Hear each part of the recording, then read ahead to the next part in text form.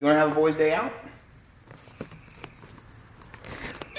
Oh, oh, oh, you, you got it, buddy. Little wing and wide body action on the sole.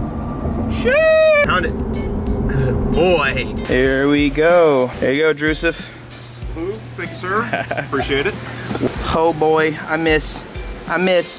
Hello, goodbye, we're going back home. Originally, this car was supposed to be a, a budget boosted build. This is the worst rear suspension configuration I've ever seen. The good thing is I have this little guy for these handy situations. There you go, you see that little, that little black plate? The bolt literally hits the freaking black plate. Nope, it's halfway through, and it's hitting that plate back there. Still? oh, oh, thank you. Save me again. Ha, spicy. Floosh. Nice and flush. Now, what I've got to do is the front suspension. A few moments later. Well, they don't fit. That is so annoying. Are you guys ready? You guys have been waiting so long for the IS300. If you like IS300s, make sure you subscribe. Also, make sure you guys drop a comment. The comment section has been fantastic lately. I love it. It's amazing. Let Drew know how much you appreciate his work today. I've seen a lot of you guys uh, that hasn't gone unnoticed. So big shout out to Drew. I'm gonna show you some stuff that we've been getting done behind the scenes. We're obviously gonna be working on the IS300 today. Finally, yesterday, Drew got the whole fuel system done, the whole thing. close to it. I just have a couple P clamps and we're. Dude, unit. You're a unit, Drew. I'll show you a little bit. Also, dude, guys, I just gotta, I gotta show you this.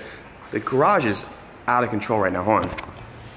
So much going on. We have got an exhaust coming for the GF8. I'm super excited about that. Uh, Jose is gonna actually be coming today to do some more work on the Skyline uh, for the trunk setup. I've got so much ordered for this, but check this out.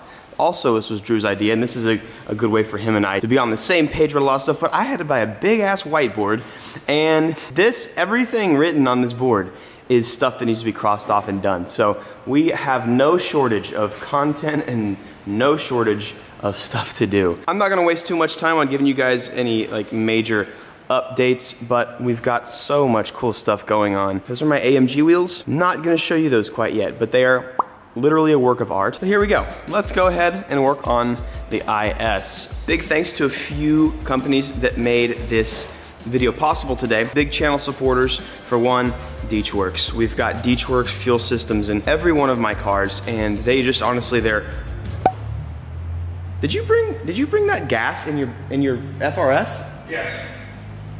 That's impressive. DeatschWerks is amazing. Give them some love if you need any fuel stuff. Powerhouse Racing, they give us a little bit of a discount on the battery relocation and ABS relocation kit. We're gonna be doing that this video. Also, it's been a while. Tweak'd Performance made us this beautiful engine harness for the IS300. If you guys have a JZ car, Tweak'd is absolutely the move. So Tweak'd is a, is a supporter as well. Guy who runs it is, is, is a fantastic guy. Great cool dude. And we also have a sponsor for this video, Infocar, which we'll talk about here in a little bit. For this car, it has a fuel pressure regulator in the tank, like where the pump is. And so we had to, uh, I'll show you guys a picture of it. Drew did this fantastic job of setting it up, welding off that and uh, closing it off. But he had to actually make a return line as well because we are using a, a DeatschWerks FPR. So we've got a new fuel filter. We're just buttoning it up using P-clamps and such now. So good. So he's ran this into the tank and we've got a fuel system now. So I usually don't film stuff like that because it's not the most exciting thing in the world to watch, but it's nice to be able to see it when it's done. So the things we have left, ooh, battery relocation, and just basically buttoning stuff up. We gotta do plumbing. Car should run actually pretty soon, so pretty amped on that. I'm not gonna myself saying on camera this week. Okay. I'm still gonna put that on the video. Before we continue, I have to give a big thank you to today's video sponsor. Infocar has sponsored this video in particular. It helps me a ton when you support the people that support the channel, so I do wanna give a big thank you to them. Infocar is a little OBD2 device. It's a tiny little Bluetooth device that plugs straight into your OBD2 port. It's very easy to use and it's very easy to set up and it gives you tons of useful information. Stuff like lateral G's, your throttle positioning. It takes all information from your car's ECU and displays it like there's like 50 or 100 tabs. You, it, it's crazy. It can also be used as even just a code reader. It's very easy to install. I put it on my AMG. Once you put it in your OBD2 port, you just go to the App Store, download the free app. It takes like 15 seconds to sign up. You choose your car, and then you let her rip. Go drive around. While you're driving, you get real-time dashboard data and real-time dangerous situation monitoring. It's got really cool monitoring features. You have multiple screens to choose from. You can calculate your engine power and your torque, your engine load. You can even see your RPMs live time while you're driving, your accelerator position, and then you've also got diagnostics after you're done driving. So if you have engine codes, it'll confirm, show you what's pending, what's permanent. The monitoring and diagnostics is one of the coolest things about this. No gimmicks here, nothing crazy. I just have a link for you guys for Amazon. It's purchasable on Amazon. That's one of the best. I, if it's on Amazon, I, I love it. Guys, especially with Volkswagens, you need this tool. Check engine light gang. Stop driving around with check engine lights. Know what it is. Check out Infocar and big thank you for sponsoring this video. Sponsors are how this channel breathes and survives. My, my gimbal is charging, so forgive my shakiness. Uh, I actually did make a video, I just didn't upload it. I got sent the wrong parts pretty frustrated. I'm actually still waiting on my shortened spindles. I ordered them over two months ago. So that's why I kind of just have not touched the car because I'm still waiting on parts after all this time. But I did install all of the rear suspension that I needed. It was a pain in the ass, but we got it. Now, uh, ABS relocation. So this ABS module, I'll show you here in a second, and the battery are just in the way of the engine bay. So as you can see over here, the battery used to be right here. We're now relocating it to the trunk. This ABS module, as you can see, it's, it's not the module itself is not necessarily in the way, but these lines are literally right next to the turbo, and that's very dangerous. So I'm gonna be messing with the hot side today. Drew's going to be tackling the fuel stuff and getting the intake manifold on. We're gonna get this, this engine bay wrapped up, and it's gonna look so good. The way the oil pressure feed for the turbo works on these JZ cars, the IS300 actually has a union bolt that's pre-tapped. You can buy these, and that's what you usually have to do if you turbo your NA Supra or NA GS300. You have to buy this bolt. So it's got an NPT fitting in there, and I gotta get that bolt out and um, it's not listening to me right now. So whenever the bolt says no, you tell them, you listen to daddy. There you go, daddy gets what daddy wants. these union bolts are kind of cool. You have to you have to buy one of these or you can tap and make one yourself, but these bolts are like $11 through Lexus. So, but yeah, it's a union bolt. It's got a tap in there for oil pressure uh, for your turbo. See, son, all you gotta do is do whatever daddy says. it really did not want to fit into this because NPT and BPT are just slightly different. Um, the threads on BPT or whatever this is, or NPT, whatever it is, they taper. That's the word. They taper, um, and then NPT is just like straight the whole way. So you gotta basically just yeet. Oh, uh-oh, uh-oh. Don't, don't fudge her. Don't fudge her up. Just had to use some good line wrench, and I actually can see some aluminum coming out. So we just, we just rethreaded made our own. Here we go. And that is tight as hell. Interesting fitting. But now this is gonna go into there. So we've got the union bolt going to there. Still getting the oil pressure, so we got to keep all the factory stuff. And now we go dash four over to the turbo. Check her out. What a beauty, dude. We are out of this piece. Oh, nice. Okay, we need gotta maybe extend. I don't think that harness needs extension. So this is it. And now I just, I assume it's just, I mean, it's gonna go in here. I don't know how, but I'm just gonna, I'm just gonna toss her in there right now, brother. Sad we gotta get rid of these beautiful Lexus hardlines, but it doesn't matter. Now everything's gonna move, it's kind of dark, sorry. Everything's gonna move right into there. And uh, we then gotta relocate the battery to the trunk. So it's looking, it's gonna look good. We're gonna have so much more space once these are off a definite necessity for if you are wanting to do a turbo setup on an NA2JZ.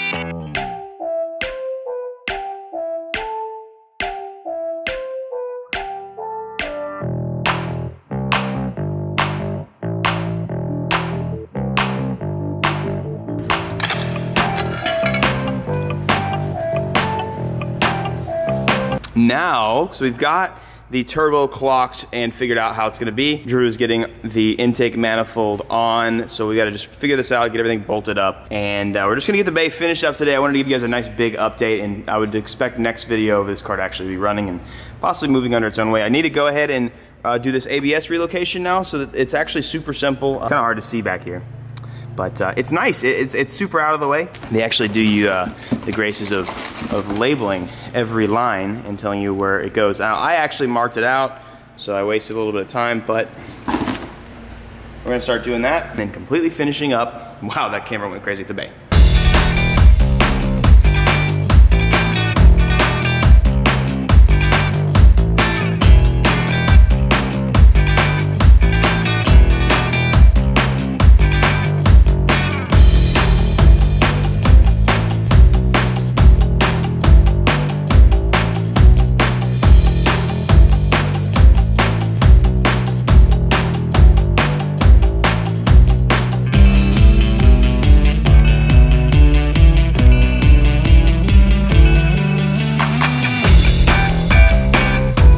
On the meth Supra? Mmm. The vibes.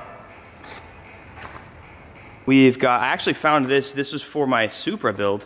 And I never wanted to use it because I didn't have the room for it, but I'm probably gonna use it just to have an intake that's uh, not intaking such high heats right there. So, but we've got the intake manifold is on pretty much. Fueling is almost taken care of. We got fuel to the rail, and then we just got to go here, and I've got some miscellaneous stuff everywhere, but here we got to to this ORB, we've got to go from there to the FPR and then FPR back. It should be connected. Now I'm just getting everything from the PHR ABS delete or uh, relocation run to its source or where it's supposed to be. That's pretty much it. We've got the turbo clocked how we want it. Um, I've got some of the lines kind of where I want them, where we want them. The water lines, the oil lines are good. We're not gonna get the car started this video.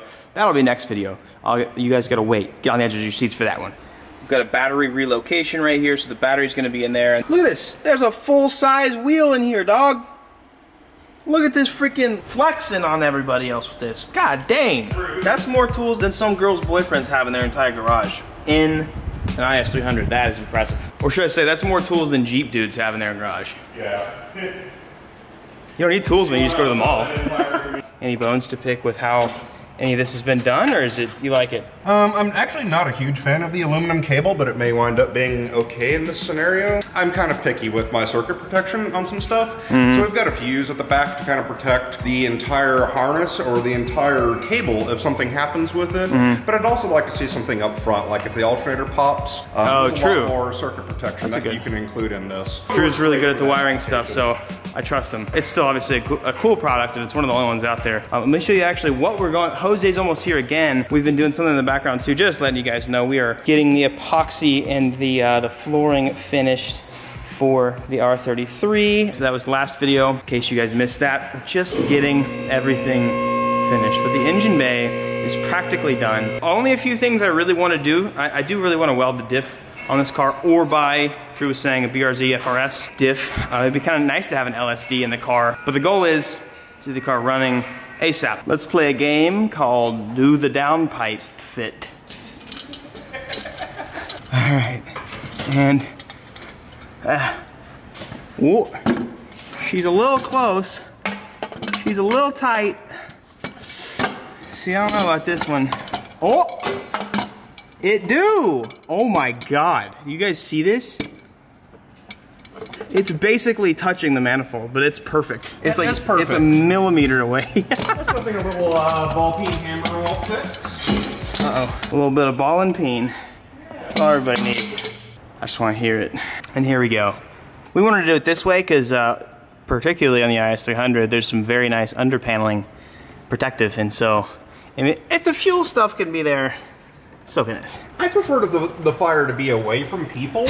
so True, not on the inside. Car's on the ground and it's so good. I finally put the wheels back on and stuff. It's been a while, but look how good this looks, dude. So we've got, uh, Drew did a great job on the fuel stuff. Look at this, it's got, it's so nice, runs through there. It's all DeatschWerks. Oh my gosh, I, uh, I need, I wish I had a little bit better lighting over here. I'm sure you guys can see it, but it's not, it's, you're not seeing it with my eyes, so it's not nearly as good. Only thing we've got to do at this point is make the turbo drain and fabricate the uh, the intercooler stuff. And that's what I'm excited about because this car is gonna look so mean. I mean, there's something about an intercooler on the front of just about any car that makes it look considerably more aggressive and a lot cooler.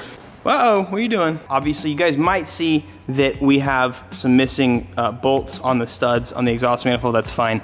We're not completely finished with the hot side yet. It's gonna be on and off. Next video, we will have a startup for you guys and uh, probably some some revving and just some just some heartwarming some heartwarming JZ action. There's just something about when a JZ starts up something happens inside and it's amazing. Yeah, let me actually explain to you guys real quick. The reason why I need, really need these shortened spindles is because this is, well, for one, this is the maximum amount of negative camber I can run. So it'll rub, but also I can't do any more negative camber and the spindle will hit the strut tower and that's sketchy, sketchy, sketchy. I've got to hella adjust the rear. You see there's lots of negative camber. I did all new suspension back there. I can actually give it a lot more positive camber.